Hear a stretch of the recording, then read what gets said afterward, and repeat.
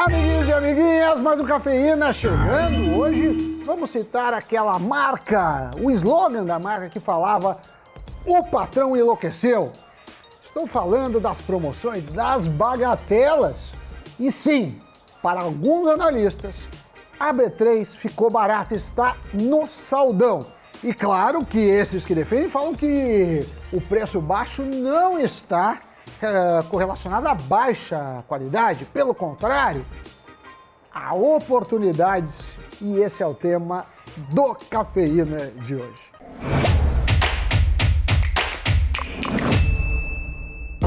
Doni Denútil, você é um patrão que enlouquece e faz promoções? Hum. Ou você é mais durão? Olha, Sammy Boy, eu sou um patrão que detesta perder negócio. Então, às vezes eu amoleço o coração, fico maluco e, e boto na mesa uma promoção que é irrecusável. Doni, você sabe que muitos estudam a hipótese de mercados eficientes nas finanças. Você mesmo já deve ter estudado isso. Ah, sim, inclusive eu estudei com você, meu caro. Você era meu professor nos idos tempos de mestrado em economia. Mas continua aí, Sammy Boy. Para quem acredita na, na hipótese de mercado eficiente, um dos fundamentos da teoria moderna de carteira, assim, se a gente fizer um, uma aproximação, diz o seguinte: não existe promoção na bolsa. Se o preço caiu, é porque tem algum motivo. Muito bem, mas voltando às ações que estão com preços atraentes na Bolsa de Valores. Existem basicamente dois momentos fundamentais que definem o lucro que você vai ter com as ações: a hora da venda e a hora da compra. Por isso, comprar no momento certo e num preço bom pode fazer toda a diferença. No ano passado, a gente teve um 2021 marcado por uma forte correção, forte queda na grande maioria das ações brasileiras. Muitos portfólios com recuos bruscos, os preços ficaram deprimidos, muitos IPOs saíram do trilho, pessoas físicas que tinham recém descoberto a bolsa começaram a vender suas ações em meio ao pânico. Mas essa derrocada foi culpa muito mais do cenário macro ou setorial do que da mudança no fundamento das empresas. Agora, uma coisa é fato fundos aclamados, que geralmente são destinados ao investidor qualificado, estão reabrindo para a captação. E o motivo é porque os gestores estão encontrando excelentes empresas a preços para eles absurdamente atrativos. É o que aconteceu no caso da Dynamo e também da gestora Verde. Elas são as duas entre as mais aclamadas e seus principais fundos, né, que é o Dinamo Cougar FIC FIA, como também o Verde FIC FIA e o Verde ainda tem o FIC FIM, abriram e foi rápido. No caso da Dinamo, a janela de reabertura foi feita em duas datas, sendo uma para quem já é investidor, já é, é cliente, e outra para novos. Mas o fundo fechou a captação em menos de uma hora, já que arrecadou todo o investimento previsto tamanha era a demanda, talvez reprimida. Já o verde segue aí fazendo é, aberturas pontuais. É, para ter uma dimensão de como é uma raridade essa abertura aos investidores, essa é a segunda vez em dois anos que a Dynamo reabre o seu fundo Colga. Numa entrevista ao Brasil Journal, o sócio da gestora disse que faz muito tempo que ele não via tantas empresas de qualidade negociando a múltiplos tão interessantes mas os preços são vistos como atrativos para quem tem visão de longo prazo. Ou seja, não há a expectativa de uma recuperação rápida a jato de curtíssimo prazo, não. Só que esse é um fundo destinado ao investidor qualificado.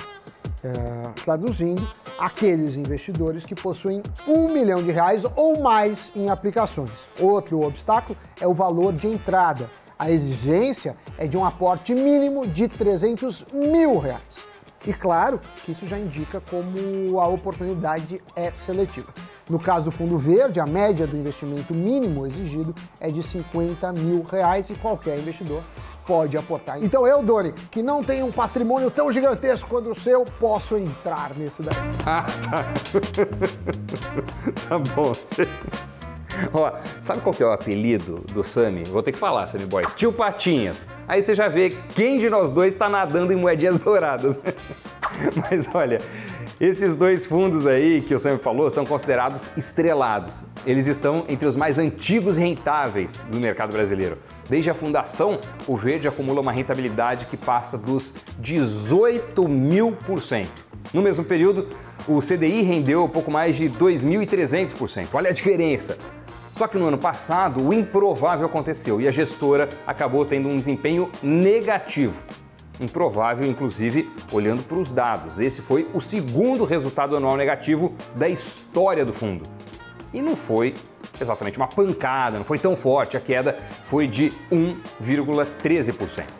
E na sua carta aos investidores, a Verde justificou a queda pela sua aposta na alta dos ativos brasileiros, o que não veio a acontecer. Apesar de não dar nome aos bois, a sua posição em ações é semelhante a outro fundo de ações da casa. E segundo as cartas desse fundo específico, o verde, a M Long Bias FIC FIA, as ações Doni, da Apvida, Natura e Notre Dame Intermédica, que chacoalharam negativamente foram as responsáveis.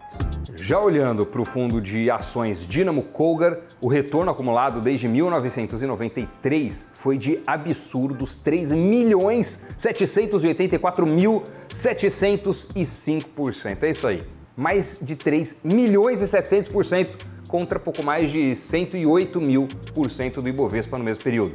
O CDI, nesse mesmo intervalo, rendeu 220 mil por cento, ou seja, também comeu poeira. Né? Todos foram interessantes para quem ficou tanto tempo investido, mas Bolsa e CDI nem se comparam com o resultado que o Dynamo Colgar conseguiu. Claro que a inflação tem que ser considerada. Só que o IGPM nesse período foi de 35.700 8%. Ou seja, sobrou bastante retorno do Kuga, sem sombra de dúvidas. Agora, comparando a perda de 1% do verde no ano passado, o Dínamo superou com uma queda de 17,3%. No entanto, vale prestar atenção onde estes fundos investem. A Dínamo é acionista histórica de empresas como Localiza, Cirela, Lojas Renner e Natura. Já uma terceira gestora, a Vista Capital, também tem farejado boas oportunidades de investimento na Bolsa Brasileira depois da forte correção nos preços no ano passado. E pelo que ela falou numa carta aos cotistas, a atual oportunidade de compra é parecida com aquelas que surgiram durante as quatro crises que o Brasil teve entre 2000 e 2021. A primeira eleição do Lula, o subprime americano, a crise fiscal no governo Dilma e a pandemia. Com 4 bilhões de reais sob gestão, a Vista Capital viu a cota do Vista FIC-FIA cair quase 21% em 2021, enquanto o Ibovespa teve baixa de quase 12%. A gestora afirmou em carta que este foi o ano mais desafiador e complexo também apontam que viram acontecer o maior erro das últimas décadas quanto às previsões de inflação em vários países. Ou seja, 2021 foi um campo minado. Doni, você lembra como que estava a previsão? O pessoal achava que a inflação ia ser 3, 4, ficou 10. Foi dureza. Sim, foi um moving target, né, Samir? O alvo foi mexendo, mexendo, porque os analistas tiveram que reajustar as estimativas. O resultado veio muito pior que previsto. Agora, no portfólio da gestora, a maior aposta está em consumo discricionário, aqueles não essenciais. Depois, na sequência, vem saúde, commodities e setor imobiliário. Mas assim como os fundos da Dínamo e da Verde, não são divulgados os ativos específicos em que ela investe. E o que podemos concluir com isso tudo? Bom, que apesar de muitas empresas brasileiras é, virem apanhando, esse cenário de terra arrasada não deve permanecer. E este pode ser um momento adequado para a entrada, já que muitos gestores acreditam que os preços estão abaixo do que as companhias realmente valem.